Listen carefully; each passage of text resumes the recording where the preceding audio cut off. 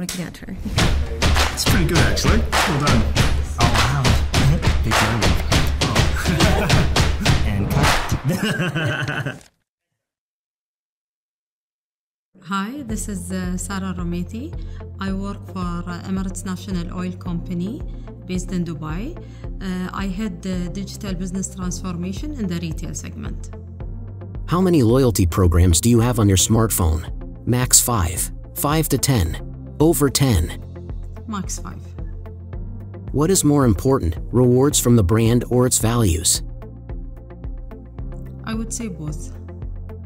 The biggest challenge of building loyalty today is problem with implementing the right tech, building loyalty to discounts, not brand, being blind to generational shift. Difficulty with implementing with the right tech. What loyalty strategy engages you the most as a customer? Coupons and discounts, physical and or experiential rewards, gamification. Coupons and discounts. What will dominate the future of loyalty programs?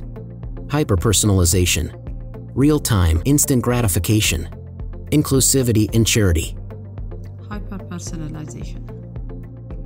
immediate rewards or gradable, would say immediate rewards and for the beginning and then when you have them as a customer, gradual. paid or emotional loyalty, Uh, again, I would say at the beginning it, it shouldn't be paid, but once you get exclusivity and the customer understand the value, then it becomes paid.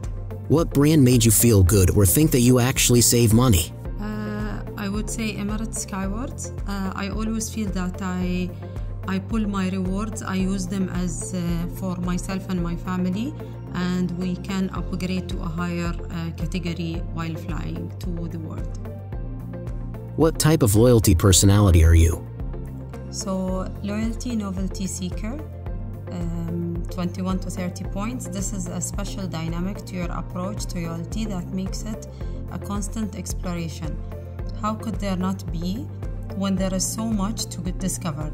That doesn't mean you can't be loyal to a brand, but sometimes it can make you feel bored. The brand has to predict your curiosity to keep you coming back.